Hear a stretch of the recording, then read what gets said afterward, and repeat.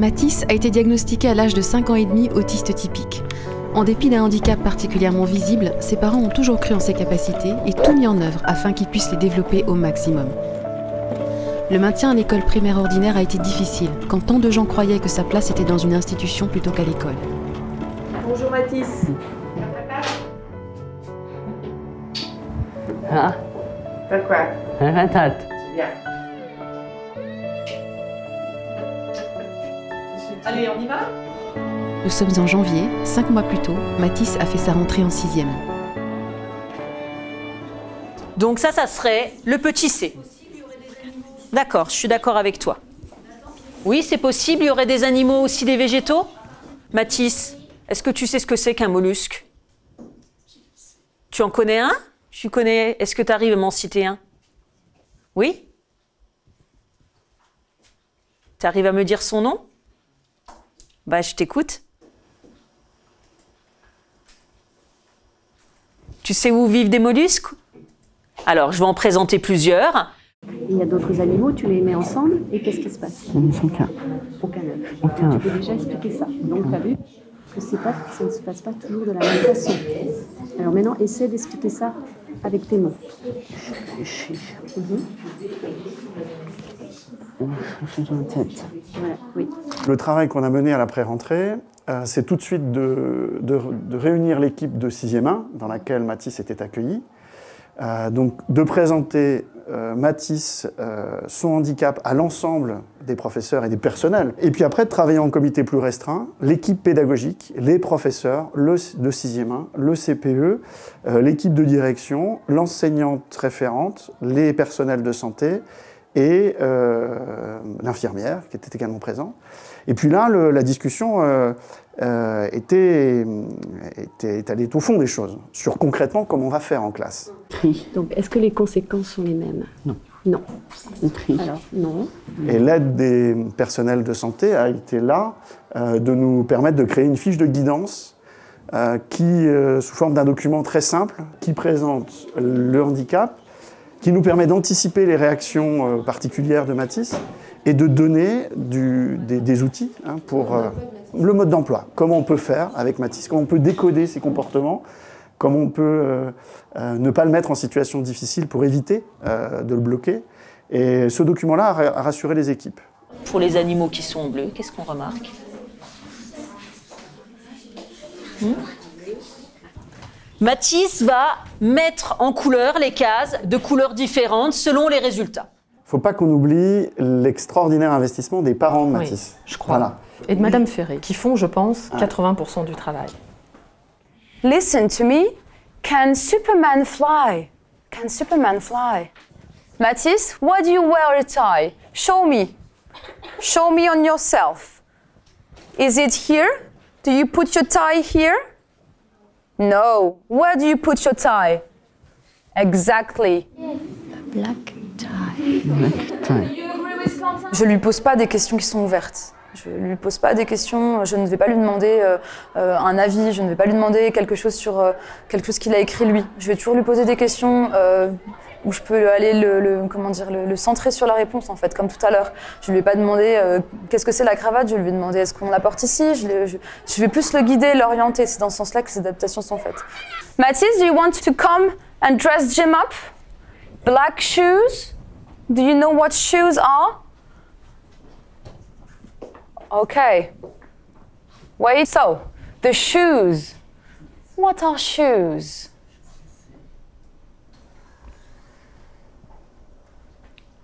Excellent. So the shoes are black. The shoes are black.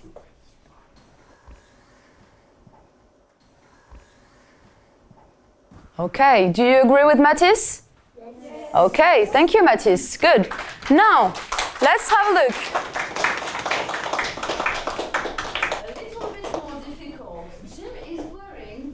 C'est vrai que lui, le visuel, il a, il a souvent besoin de voir parce que sinon son esprit est un petit peu, un petit peu partout. Donc c'est pour ça aussi que Madame Ferré est là pour recentrer euh, son attention. Et les images aident aussi beaucoup à ça. Et, mais c'est vrai que du coup, les autres élèves en ont profité. La classe en a profité puisqu'ils aiment beaucoup euh, fonctionner comme ça.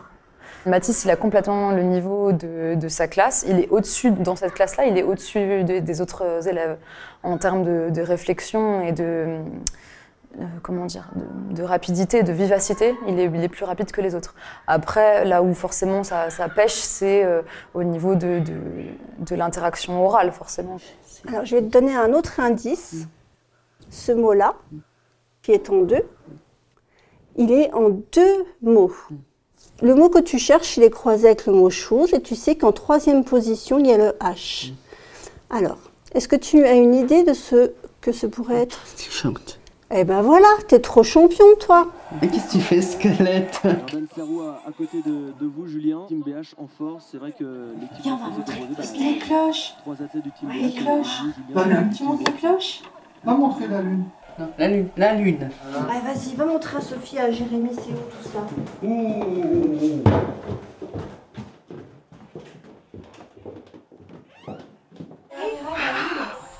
Waouh, la lune. Ouais. Qu'est-ce que tu connais comme planète? Inter. Et quoi d'autre? Mars. Vénus. Mercure. Jupiter. Saturne. Neptune. T'es content d'aller au collège ou t'es pas content? J'aime bien. T'aimes bien le collège, hein? Ouais. Est-ce que tu es content? Ouais. Ouais? Tu travailles bien ou tu travailles pas Euh, bien? Très bien. Ah oui, ça c'est vrai que tu travailles très très bien. Et je suis vraiment, papa et maman, on est vraiment très très contents. Ouais. Et tes professeurs, ils sont gentils ou ils Ils sont sont gentils. Ah oui, ils sont tous très très gentils. Il y a des cloches. Où c'est? À Strasbourg. Quelle place? La place cathédrale. Ah bon? Par exemple, la cloche qui sonne très fort, elle fait quelle note? Je note. Elle sonne en quoi? En dièse 2. En Do dièse 2. C'est un savoyarde. C'est la savoyarde qui sonne en Do dièse 2 Ce que je préfère à Strasbourg, c'est un Totten Clock.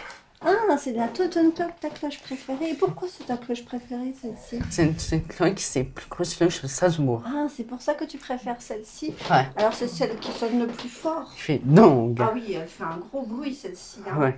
Alors elle sonne en quoi, cette cloche La bémol 2. En comment? La bémol 2. La bémol 2. Ouais. Et ça fait un gros bruit, alors Ouais, on casse les, un peu les oreilles. Elle nous casse un tout petit peu les oreilles, c'est Ouais. Il était quoi Comment? Il était ma... Il est ma- malade? Malade. Tom, il était... Est-ce que tu es malade, Tom? Est-ce que tu es malade, Tom? Il est pas malade, Tom. Ça va. Tu n'es pas malade, Tom Ça va. Ah, ça va.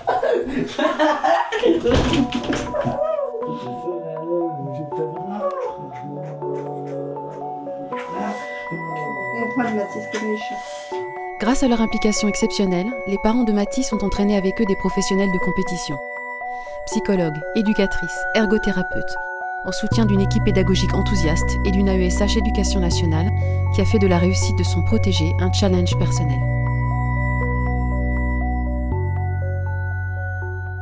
Mathis, la tâche, c'est bien qui est royal, c'est la tâche. En fait, la question qu'il faut que tu te poses, c'est qui est grand? C'est Poséidon. L'adjectif, tu vois, il est à côté du nom. Alors là, pose-toi la question. On sait que on voit l'adjectif, il est à côté du nom. Donc, quelle est sa fonction? Épithète ou attribut? Sachant qu'il est à côté du nom. Dis-moi. Épithète. Très bien. Et on dit qu'il est épithète lié. Moi, en tant que professeur principal, j'ai eu la volonté euh, au début de l'année. hein, euh, on, on, on en a parlé en fait avec la classe. hein. J'ai pris des heures de vie de classe pour parler avec la classe. Euh, j'ai fait venir aussi euh, sa psychologue hein, afin qu'elle présente l'autisme à la classe. Clara. La classe a pu poser des questions sur l'autisme, euh, a eu des conseils pour euh, l'accueillir, pour rentrer en interaction. En effet, l'implicite, il n'en a pas, donc c'est compliqué. Euh, Enfin, comprendre l'implicite, c'est impossible pour lui. Euh, imaginer une histoire, c'est compliqué aussi. Donc, bien sûr, les rédactions que nous faisons en fait toutes les trois semaines, bah, ça pose ça pose problème. Et donc, pour favoriser son imagination, je suis obligée de passer par des images. Donc, euh, par exemple, ils ont eu à écrire euh, un conte. Enfin, c'était une réécriture du Petit Chaperon Rouge. J'ai dû choisir quatre illustrations pour euh, qu'il puisse en fait euh, bah, voir son histoire. Regarde, son illustre père. Comment est le père? Illustre. Illustre, très bien. Moi, je trouve qu'il progresse au niveau euh, de sa compréhension, compréhension des textes notamment. Enfin, euh, il a bien compris son métier d'élève au sein du collège, il l'a bien compris. Ça se voit euh, au niveau, euh, bah déjà, même dans le couloir, je le sens quand même déjà plus à l'aise. Même avec moi, moi, je sais que il me regarde vraiment de plus en plus, il me sourit beaucoup. Donc, il progresse doucement, mais en tout cas, en tout cas, il est là, il est bien là, au sein de la classe. Mathis, tu vas aller au tableau pour corriger la première phrase? On y va? La première? Ok. L'adjectif. Très bien. Quelle est sa fonction? Il est à côté du nom, donc il est épithète C'est lié. Très bien, parfait. Il est épithète lié. Super. Très bien. Merci Mathis. Allez Jade, viens. On nous a conseillé euh, d'être euh, particulièrement, euh, comment dire, chaleureux avec lui, lui dire bonjour, insister, je dis son prénom, comment vas-tu Mathis et, on voit en lui, on décèle sur son visage l'épanouissement, il est souriant, il est... Donc je dirais dans, dans, dans son handicap, j'ai le sentiment que là-dessus, il doit certainement faire des progrès. Oui. Pourquoi peut-on dire qu'il est de culture grecque, Alexandre le Grand? Il a lu quelqu'un. Ah ça tu me l'as dit la dernière fois, Mathis. Il a lu qui? Il a lu l'Iliade et l'Odyssée. Tu te rappelles de ça? Est-ce que tu te souviens du nom de l'auteur de l'Iliade et l'Odyssée Homère. Homère, exactement. Il a le niveau, tout à fait, oui, oui. On pose des questions qui sont euh, directes, concrètes, euh, simples. Euh, Il ne faut pas du tout qu'il y ait la moindre ambiguïté, la moindre complexité. Euh, donc là-dessus, oui, c'est vrai qu'il faut, il faut adapter son, sa pédagogie. En classe, euh, pas trop finalement. Qui est-ce Élodie C'est Alexandre le Grand, là. Hein c'est Alexandre le Grand, là. C'est Alexandre le Grand, regardez, face à face à Darius. C'est peut-être plus euh, ça qui pose problème. Certains exercices euh, qui exigent vraiment un plus haut niveau d'abstraction. Alors là, peut-être, effectivement, il y a une différence. Dans la mesure où on adapte, il n'a aucune difficulté, quand on trouve les mots pour lui dire, il n'a aucune difficulté à comprendre. Tout ça. Avec un couleur. Oui, c'est bien. Il n'y a que ça, oui. On va le faire sur l'ordi. Alors, alors voyons voir. Ça y est, j'ai trouvé. Ça y est, c'est bon, Mathis. Regarde, c'est pas, c'est pas nickel ça? Voilà, nickel. Et voilà, c'est parfait. Après, ce qu'on peut faire, c'est recréer des points.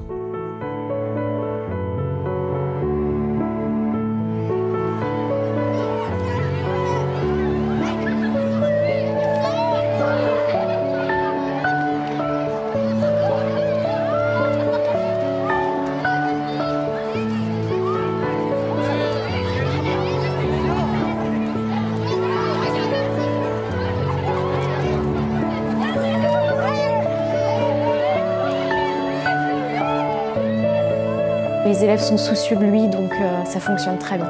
Mais il a fait réellement des progrès en termes de, de communication. Ce qui pour nous peut paraître un obstacle, l'accueil d'un enfant euh, autiste dans un environnement scolaire classique, euh, pose sans doute euh, moins de problèmes aux élèves qu'aux adultes euh, sur l'acceptation de la différence.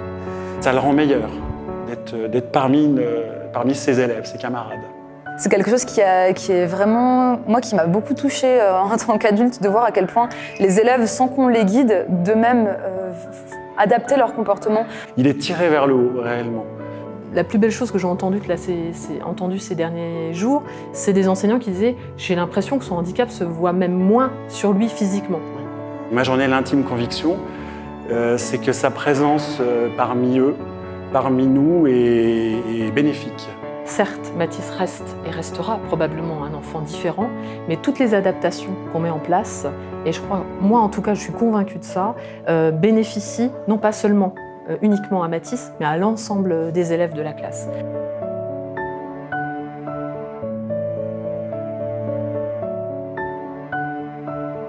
Mathis est accompagné depuis 7 ans par la psychologue Alexandra Lecestre et son équipe d'éducateurs spécialisés en analyse appliquée du comportement. Depuis la rentrée, elles interviennent chaque semaine au sein même du collège pour lui apprendre le sens social, au plus près de son quotidien. Hyper investie, son ergothérapeute et son AESH font un relais constant avec l'équipe pédagogique. Give me five. Give me five. Je connais.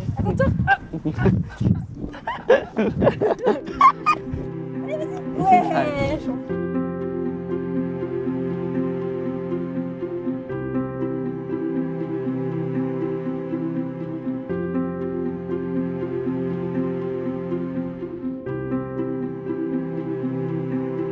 Fois par mois, la psychologue intervient au collège pour superviser le travail de l'éducatrice et réajuster les programmes de Matisse en fonction de ses progrès. Le contact régulier entre les parents, l'AESH et la psychologue a permis de faire remonter les troubles du comportement de Matisse, comprendre les situations qui les déclenchaient et les aider à les résoudre. Résultat, en moins de trois mois, ces troubles du comportement ont complètement disparu.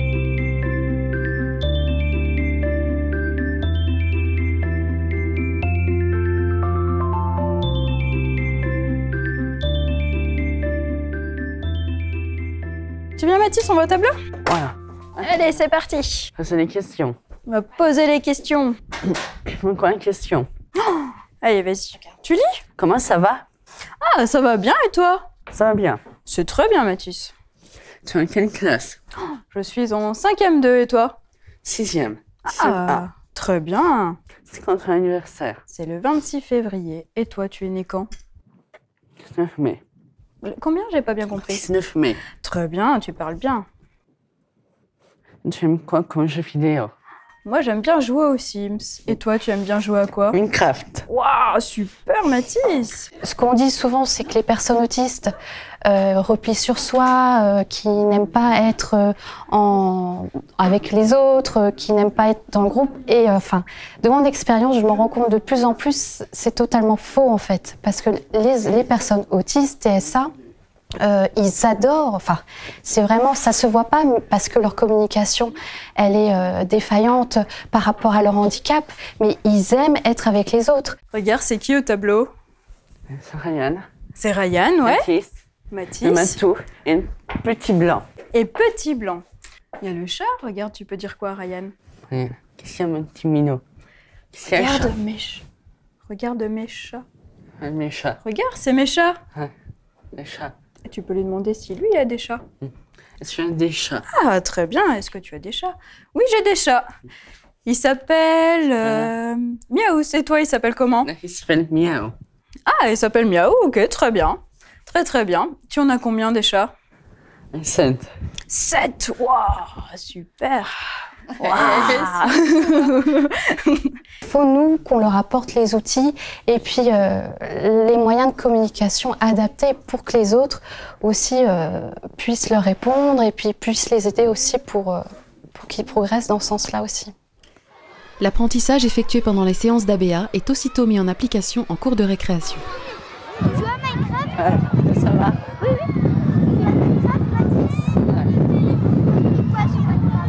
Euh, À la maison. Il y a encore la chienne Ouais. Il y a les maisons. Ouais. Pour essayer des serveurs, en fait, tu joues avec plein de gens. Puis, Tu feras quoi ce week-end Ah, Je vais me reposer. Je vais me reposer. Ah ouais. Bien, t'as bien répondu. T'as déjeuné quoi ce matin Une tartine et du lait. Du lait Ouais. Des tartines de quoi Une tartine Nutella. Nutella Ouais. Les tartines avec du lait Ouais. Tu peux leur demander ce qu'ils construisent sur Minecraft Un qui s'est construit sur une craft. Oui, moi je joue. Oui. Est-ce que tu fais ce que tu fais sur Minecraft Des maisons, mais des manèges. Et des maisons. Mais si on se C'est de leur montrer que euh, Matisse ne va pas les agresser, que Matisse peut avoir un comportement euh, tout à fait adapté en fait. Et le but c'est que quand les autres sont avec Matisse, que ça se passe bien, parce que Matisse va leur répondre, euh, il va, et puis ils vont voir aussi que lui, il est content d'être avec eux, qu'il y ait cette réciprocité comme ça. Donc euh, oui, c'est c'est ce qu'on appelle le pairing, qui est une coopération qui s'établit entre Matisse et ses camarades en fait. Hein, comment tu t'appelles? C'est quoi la capitale du Comment tu Canada? t'appelles? Donovan. C'est quoi la capitale du Canada? Ottawa. La Putain, il est trop fort.